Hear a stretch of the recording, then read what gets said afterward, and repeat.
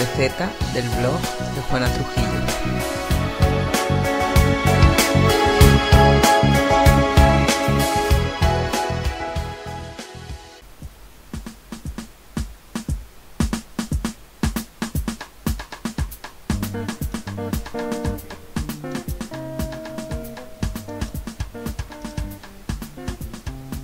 Brownie de chocolate y cerveza negra.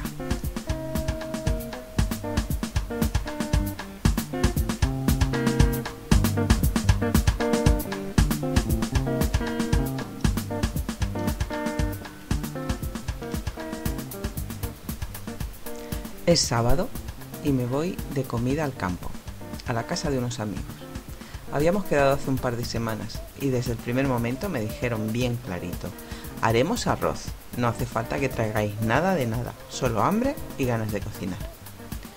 Ellos no lo saben, pero esa frase tiene varios puntos a discutir. El primero, no hace falta que traigáis nada. ¿Es normal ir de invitado a una comilona al campo con amigos y no llevar nada? Yo no creo que sea normal, por lo que no pienso hacer caso. El segundo, traed solo hambre. Bueno, esto no es un problema y lo pongo solo porque dos puntos de discusión son pocos. El tercero, el punto más difícil para mí, ganas de cocinar. Ellos no saben, porque lo intento ocultar por vergüenza, pero cocinar arroz se me da fatal. Por suerte para todos, los anfitriones y el resto de invitados, incluido mi marido, son mucho mejores cocineros que yo.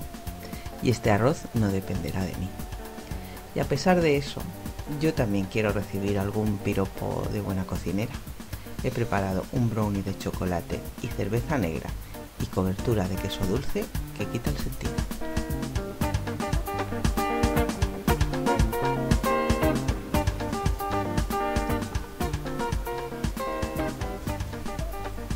Ingredientes.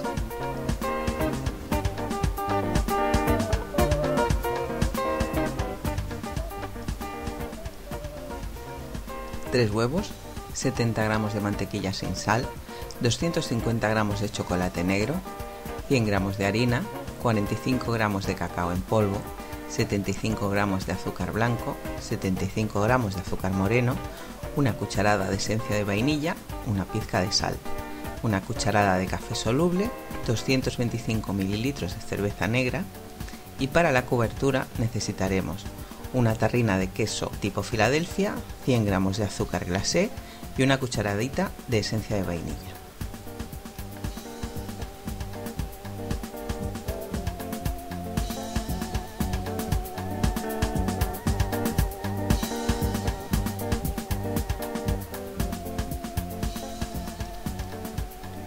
Cómo preparar brownie de chocolate y cerveza negra con cobertura de queso.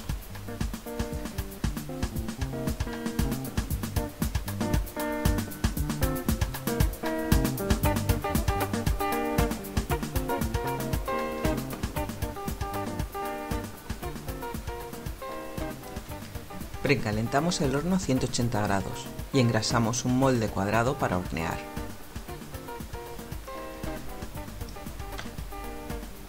En un bol mezclamos la harina tamizada, el azúcar, el cacao en polvo, el café soluble y la sal.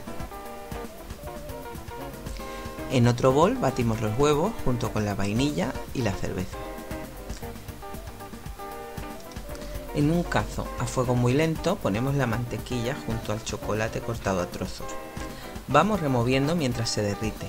Retiramos del fuego y lo volcamos en el bol de los huevos. Lo batimos todo muy bien. Añadimos poco a poco la mezcla de harina. Debemos obtener una masa homogénea y sin grumos. Rellenamos el molde con la masa y lo metemos en el horno. Dejamos que cueza durante unos 45 minutos. Cuando comprobemos el punto de cocción, tenemos que tener en cuenta que no es un bizcocho normal y que es algo húmedo. Por tanto, si pinchamos el centro con el palillo, este saldrá un poco manchado con migas.